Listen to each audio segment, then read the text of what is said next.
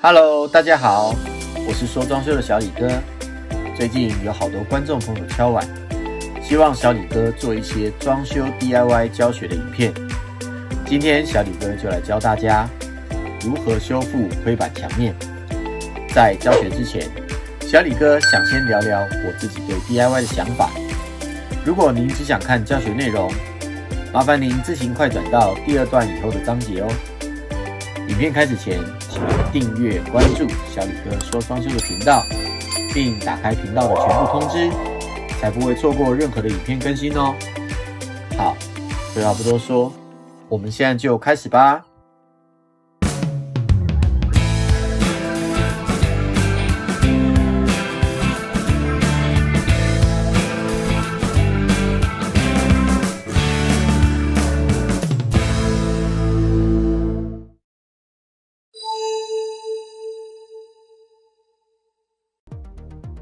装修 DIY 的影片，在每个影音平台都是高流量的内容。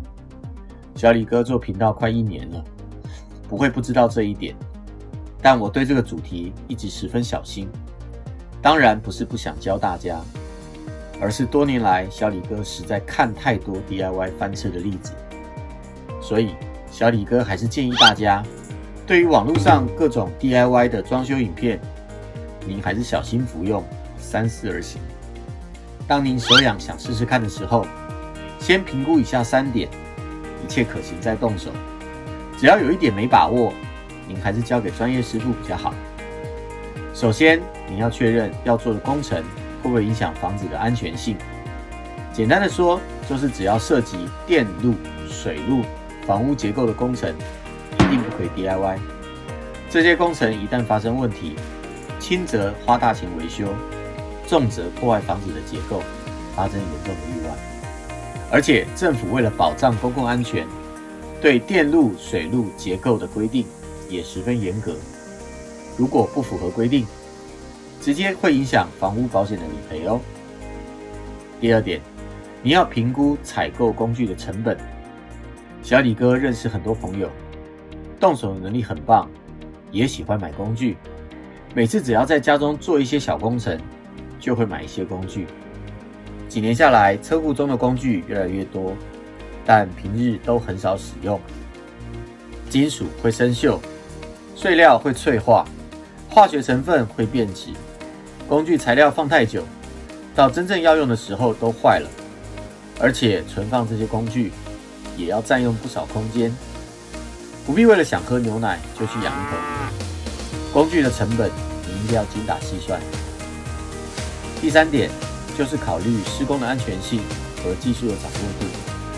有很多的工程及工具的操作是有危险性的，比如说像是电锯及砂轮机，或是爬高梯、搬重物。就算是专业的施工师傅，都要十分小心。一旦发生意外，对您的身体伤害是难以弥补的。不建议您自学操作。还有施工的技术及经验。是需要时间和反复的操作来累积的。您在决定自己动手前，一定要想想工程可能有什么困难，如何排除困难，最后成品的功能性和美观性可不可以达到要求。自己 DIY 装修，多花点时间倒无所谓，但品质不达标准，就是花钱找罪受。照这三点说来，是不是什么工程都不能 DIY 呢？也不是。小李哥是希望大家试着学 DIY，不要只是为了省钱。自己动手做是一件十分有趣的事，也会给您带来很大的成就感。既然是兴趣，就要循序渐进的来学习，先杀杀小怪来练等，等级够了再挑战 BOSS。小李哥这系列影片都会在片头标记工具的成本、技术的要求、施工的危险。星星越少，代表越简单。请您先从简单的开始挑战。如果做的过程遇到任何问题，也欢迎您留言讨论哦。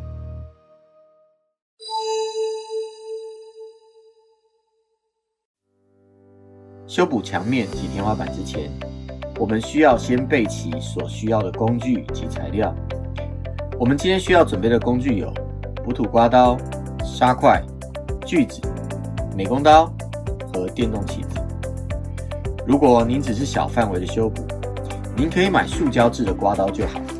但您要修补的范围如果大于六英寸见方，还是用金属的刮刀比较好。补完的墙面比较平整，建议您选购软一点的刮刀，使用会顺手一些。沙块，请您选择密度在一百到一百三之间的产品。沙块用起来比较好用，适合初学者。当然啦，如果你买不到沙块，也可以使用砂纸。如果您是第一次自己动手装修，手动工具比较便宜，使用起来也比较安全。锯子、美工刀，我想大家都知道，小李哥就不多做介绍。如果你想尝试电动工具，你可以试试震动锯，台湾人叫磨切机，它可以完全取代传统的锯子，也有很多通用的功能，安全性也比较好，是很适合初学者优先采买的工具哦。电动锯子是装修的七大武器之首，家庭中准备一支是必要的，平时组合家具、小修小补都十分好用。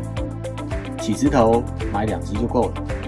二号的方头及二号的十字头是最常用的，其他的尺寸都十分少用，不建议您买整盒的套装。一整盒的起子头看起来很漂亮，但是常在用的只有两支，收藏价值多过使用价值。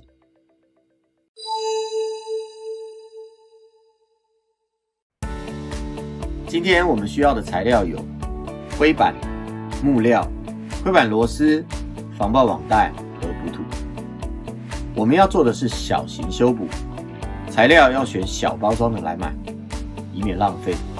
小李哥建议您灰板可以在 Home Depot 买，因为在这里你可以买到最小二尺见方的尺寸，不必买一大片。木料不一定要买新的，家中如果有多余的板子、夹板、高密度板、地脚线，甚至剩下的木地板。都可以拿来使用。灰板螺丝是一种一又四分之一寸的特殊螺丝，一般是灰色的。您只要询问材料商的服务人员，他们就会拿给你。一次的修补，螺丝的用量大约是二十支，拿小包装的就足够用了。修补墙面的防爆网袋，要买自粘型的纤维网袋比较好，纸袋在小面积不好操作，也不适合初学者使用。补土买水性的一般土就可以了，比较便宜，也比较好打磨。千万不要买到快干土。一般修补六寸见方以下的区域，一点五公升的包装就十分足够。补土开罐后很容易自己渐渐的干掉，买多了容易造成浪费。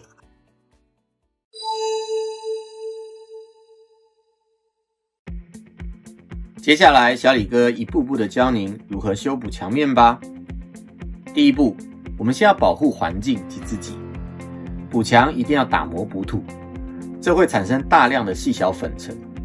请先把可以移开的家具尽量移到别的空间，不能移走的和地面用塑胶布盖好，减少未来打扫的麻烦。补土时产生的粉尘虽然无毒，但个人的保护还是要做好。施工时一定要戴好口罩哦。第二步，裁切合适大小的灰板，裁切一片比破损区域大的灰板，切成方形就可以了。裁切灰板很容易，先在灰板的表面用美工刀划一刀，再依照切开的线折开灰板，最后切开另一边的表纸就可以了。切好的灰板就是之后要用来修补的灰板。第三步。修整破损区域的灰板，将第二步裁好的新灰板盖住破损区域，用铅笔沿新灰板的边缘来画线，移开新灰板，沿着所画的线切割旧灰板。这里主要示范手动灰板锯的使用方式。如果您使用的是震动锯，只要注意下刀不要太深就行了。切好后取下多余的灰板。您就可以得到一块相同大小的修整区喽。这里有个小技巧，您可以在灰板上先画上方向线，一会在修补的时候才会更方便。第四步，固定支撑木料及修补灰板。木料裁切到合适的长度，以灰板螺丝固定在修整孔的左右。如果修整孔太小，不方便伸手进去操作，可以在木料的正面先固定一根长螺丝，方便你使力拉住木料，固定灰板螺丝。再将我们第二步裁好的灰板放入修整孔内，用灰板螺丝固定在支撑木料上。第五步，贴上防爆网袋。及做第一层的补土，用干抹布清洁一下修补的区域，清除掉碎灰板、灰泥还有粉尘，在灰板的交界线上贴上防爆网袋，使用补土刮刀压住就可以轻松切断网袋，不必用美工刀。网袋要完全覆盖灰板的缝隙，才能达到防裂的功能哦。第一层的补土不是为了补平。只是为了填补灰板缝隙，请您千万不要补太厚，薄薄的覆盖网袋和缝隙就可以了。第六步，第一次的打磨和第二层的补土。当您确定第一层的补土完全干了之后，使用砂块轻轻的打磨，只要磨去表面多余的补土就好，不必磨平、磨深。第二层的补土要做大面积的覆盖。您可以先大略铺上一层土，再用刮刀轻轻的刮平，千万不要太用力，顺刮即可。这里有一个小技巧，每刮一刀，补土刀上的补土要先清掉，下一刀才会更完美。有经验的师傅，第二层做完就可以很平，但自己做要求先不要这么高，先能平顺就好。第七步，第二次的打磨。确认第二层的补土完全干了之后，使用砂块做大面积的打磨，磨到墙面平顺最重要。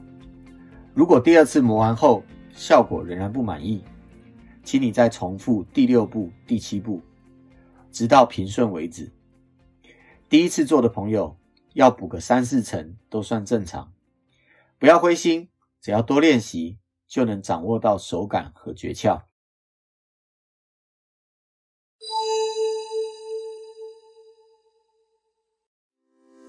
最后，小李哥帮大家整理一下今天的重点。第一，工具及材料，请大家量力而为。除了电动起子之外，其他的电动工具都不是一定必要。材料的购买也请适量够用就好，不要买太多。第二，打磨补土，粉尘细又多，家具请您一定要移开或是保护好。施工时也要请您全程的戴口罩哦。第三，第一层的补土，请薄补，盖住网袋就好，千万不要补太厚。第四，第二层要大面积的补土刮平，大面积刮平的修补效果最好。